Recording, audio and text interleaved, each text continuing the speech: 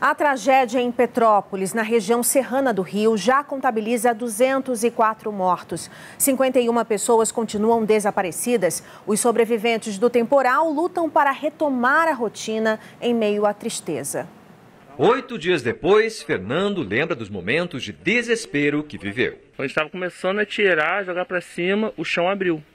Aí só deu para escutar o barulho, um estalo, proteger a cabeça, com medo de bater alguma coisa na cabeça, e ficou tudo escuro. Ele é um dos sobreviventes do desabamento nesta estamparia na terça-feira da semana passada, durante o temporal em Petrópolis.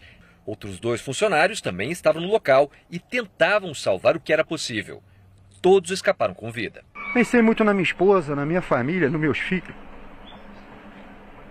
Foi, foi tão impressionante que eu não sei de onde nem eu tirei forças para sair dali de baixo. Filho da dona do imóvel, Vinícius estava em outro cômodo quando tudo aconteceu. A gente começou a gritar, a gritar e a casa tremendo muito. A casa começou a balançar toda. E Raquel ainda não sabe como irá retomar os negócios. Tudo isso aqui é um sonho para gente.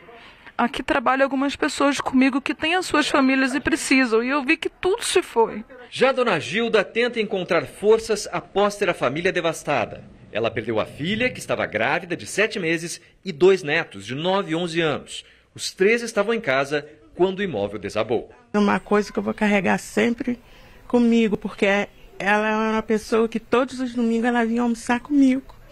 Todos os domingos. Minha filha. Durante as buscas desta quarta-feira, uma gata foi resgatada. Ela ficou quase nove dias soterrada. O MP estadual montou uma força-tarefa para fiscalizar as ações do poder público e evitar desvios de verbas destinadas à reconstrução da cidade.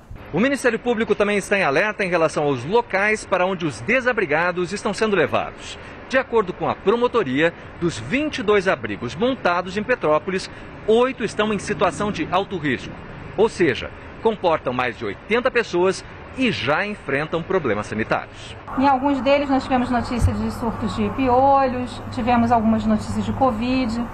É, então, qualquer aglomeração de pessoas, sobretudo uma pandemia, é, é uma coisa que deve ser priorizada.